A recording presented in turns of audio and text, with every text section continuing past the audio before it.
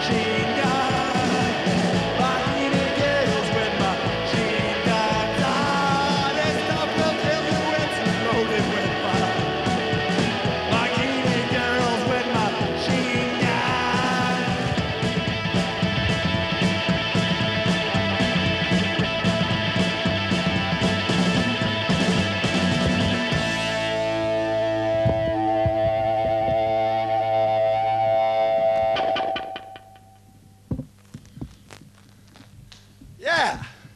Okay, blues fans. That there tune was called Bikini Girls with Machine Guns, just in case you didn't hear me singing it about 800 times that title there for you.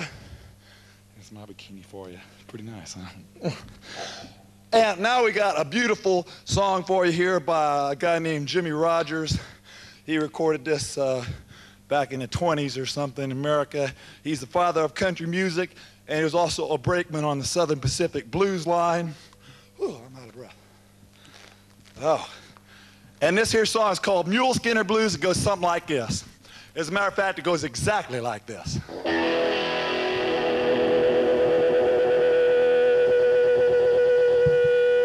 Good morning, Captain.